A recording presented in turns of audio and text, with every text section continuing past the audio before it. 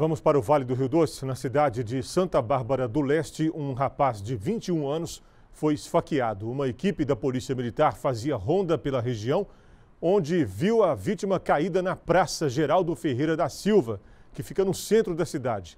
Testemunhas contaram aos PMs que quem seria o autor da tentativa de homicídio.